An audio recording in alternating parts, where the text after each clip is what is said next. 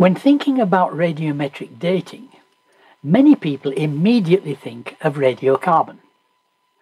Geologists don't use radiocarbon dating very much, they usually use other methods. But radiocarbon illustrates the principle, and although it's very unreliable, it's far more reliable than methods like uranium lead, which geologists usually use. Radiocarbon dating, often shortened to C14 dating, was introduced by Professor Willard Libby in 1961. The method assumes that the level of carbon 14, which is radioactive, has been constant for longer than the age of anything to be dated. So any plant or animal remains must have had the present equilibrium amount of carbon 14 in it when it died. Since then, it's been decaying away with a half-life of 5,730 years. So, the longer ago something died, the less C14 remains. Libby wrote a book, Radiocarbon Dating. On page 7, if I remember correctly, he pointed out that the current level of carbon 14 in the atmosphere has not reached the equilibrium level. That wipes out the method before we begin. At current carbon 14 creation levels, equilibrium should have been reached in 60,000 years. There's still only enough to account for about 20,000. What was even more interesting, he wrote a paper for one of the top journals, Science.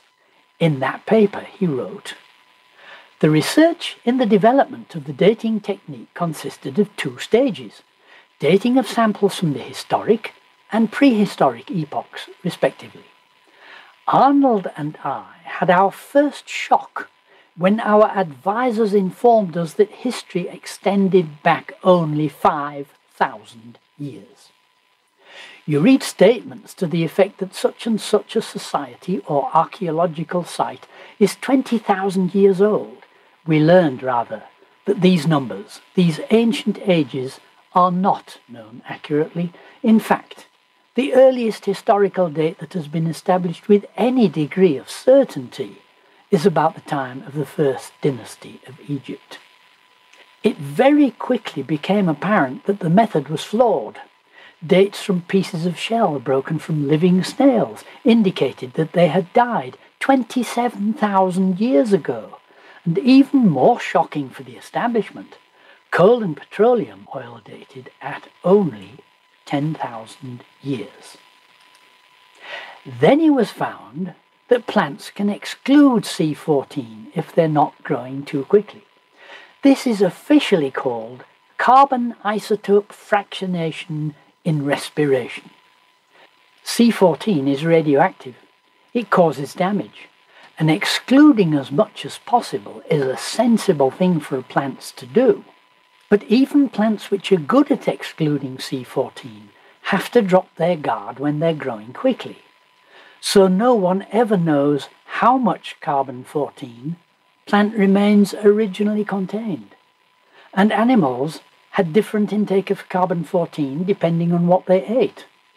The C14 dating method was obviously very questionable. But they found that samples from historically known ages of one sample type, from one particular area, contained C14 remnants which could be correlated to their known age by using fiddle factors. So catalogues of particular samples in particular areas were compiled, and when a similar sample from that same area was found, they could look up the correction factors which should give a meaningful age. So radiocarbon labs have two types of dates. For well-known specimens from well-known areas, they can look in their catalogue and get correction factors which hopefully give a reasonable result. These dates are called corrected dates. Material which does not come from a well-known type in a well-known area are just given the ages which come from the undoctored calculations. These are called uncorrected dates.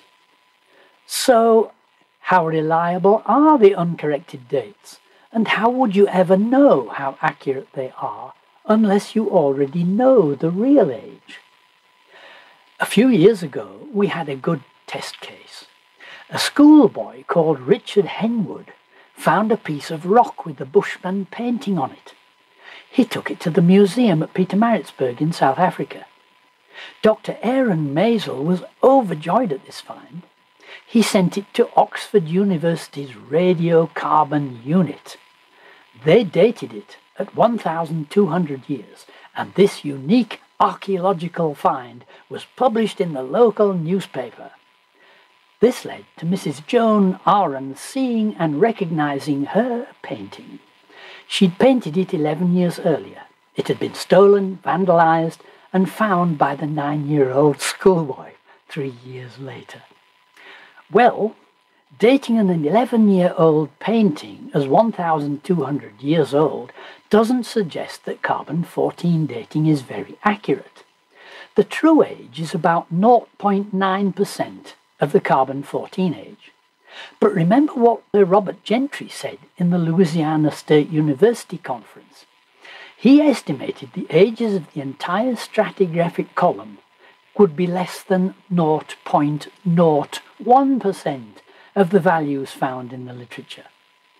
And if it's true that those ages are given by radiometric dating, then geological dates may be about a hundred times less reliable than carbon 14 dates.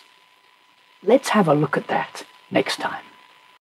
Thank you for joining me for this episode.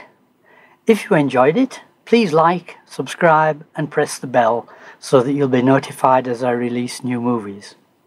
If you'd like to support this project, you're welcome to do so through Patreon. Find a link on my channel banner and in the description below.